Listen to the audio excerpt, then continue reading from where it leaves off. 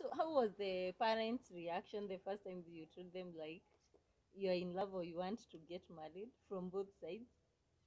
Uh, my mom just asked me, Uh. "Are you sure? Is this your the deci- decision you're you're going to make?" Uh. And I said, "Yeah, Mm. I want to make it." Mm. I actually had thought about it. I thought a lot about it, Mm. and uh, you know, I had so many plans. I had in my head. Mm. I had planned I was going to. Now I had finished uh, college, Mm. so I was going to find a job, work for a few. In my head, I was going to work until I was 28, and then get married around 29. There, Mhm. by 30, I would have one kid, Uh-huh. and then uh, oh, from there it was a bit fuzzy. but in my head, I was going to at least not, se- you know, not. You, you at least Not work from out, school you work something out. At least you have your own money. Mm. And then here I am at uh, 21, already seeing someone. Mm. And then he he proposed on 209, right? That's the time you said yes or the time I proposed? Because I proposed So- I than that. So kept it- him pending a little bit. Eh, for how long? A year or two. Hey, you I. I told no, it was a week. I only kept you pending for a Ah, week. you kept me longer than that. I asked you at least three times. I know, but you know, I, I also was testing him. I thought to myself, Mm. if he gets frustrated and you know just goes, Mm. then it's not meant to be. Yeah. I don't remember it being a year Mm. or two, Mm. but I know when he proposed, Mm. I stayed for one week Mm. before I told him yes or no. But I think I think he knew it was going to be a yes. Eh. I was Yeah. hopeful. Oh. How was the reaction of your parents back at home? Because at first I understood you are not coming to stay in Kenya. At first, no. Uh. But uh, my parents, Mm. well, when I came back from the first 10 day trip, Mm. I had taken one picture of her. We had, I got a digital camera. I actually gave away the camera before I came back, but I brought the memory card back. So the moment I arrived, they took my memory cards and, And printed everything saw- off, and they saying, "Who is this girl? Who is this?" Someone I met. Anyway, Mm. that's the end of it. They didn't know anymore until I was able to contact her a few months later. mm-hmm. Now, it's a bit surprising. In Canada, my part of Canada, we have very few black people. Like I'd seen two in my entire life before Two? coming to Kenya. Yes. Well, and how did you come to Kenya? Uh, I had a friend in, that was working as a temporary teacher, Okay. and I'd had a good winter with my business because I had a business in that site. Mm. And there's two weeks every spring and every fall where there's no work allowed. Mm. Just one of the Canadian things. Okay. So I said I wanted to travel at least a little bit. So I was able to come this way because she was able to, that, that teacher now in RVA was able to help facilitate flights and connections and motels. Okay. So that's how I came the first time. Even so, I decided Mhm. it was one of two places in the world that I wanted to go either East Africa, Kenya, Nairobi, Mhm. or Rio de Janeiro, Brazil. So I'm lucky. And you ended it. up in Kenya. Yes, at least I came this side instead of that side. And how did you make a decision of settling down here? when I came the first time, Mm. I, I I love the country. I love the people, Mm. especially the people. There, I, I saw opportunities both to help the population and Mm. also the, the potential for growth in this country is very great. So I, I, I love the country. You know, most of us are Africans. We are fighting, especially even as Kenyans, we are fighting to go like to Canada, not even US. I know many people they do fight to go to US, but also when you think of uh, Canada, it's even better than US. So it's it's it's it sounds funny that you can come from where people are fighting to and Go. settle here. Out, it was out of love. Not only that, Uh. not only that. Uh. You know, it's a bit where people always think it's greener on the other side. Mm.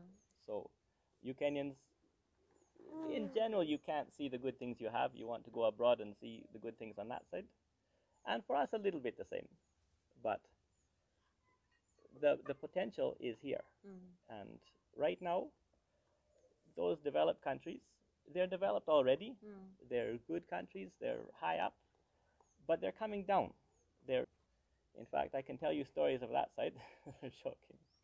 In Africa, we are trying to raise. on the African side, especially here, especially, well, the little bit I've seen of Africa, but especially here in Kenya, people are low, but they're coming up quickly. Yeah. They're climbing by leaps and bounds. Mm. Even the way I've seen the country changed since I first came in 2008, it's almost unrecognizable how far we've come Mm.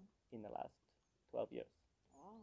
I mean, if if you can even think back Yeah. clearly as to what it was like then and what Mm. it's like now, Mm. because I was in the last the last year of Moi's, not not Moi's, Kibaki's rule. Kibaki. Mm. So we didn't have the new constitution yet. I remember I was here during that, Mm. and we have come far. Sure. We have come far, Mm. and just for a place to stay and a place to raise kids, Mm. it's very nice to be in a country coming up. So as Kenyans, we should uh, run to embrace our country. It's It's it's, like it's we- good to travel. yeah. It's good to travel, and it's really good to get an idea of a second a second culture, Mm. so that you can see what's cultural and what's what's real. I, I don't know if that's the right way of saying it. Mm. So I won't ever say you shouldn't travel. You should travel, Wow. although you have a lot of good things here as well. Mm. Yes. So how was the reaction of your parents that you're marrying someone from a, a especially a black girl if like you have not seen black people that much and to add on it you are coming to settle down here where your family is not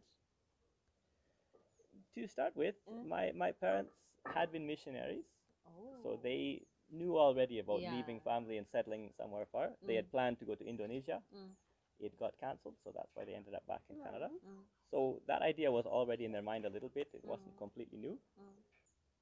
Most people in Canada, as I see, their first reaction is shock, Mm. seeing that I want to be with a black girl and, and marry her, and that's that's the way it is. Mm. So their first first reaction Mm. was complete shock and disbelief.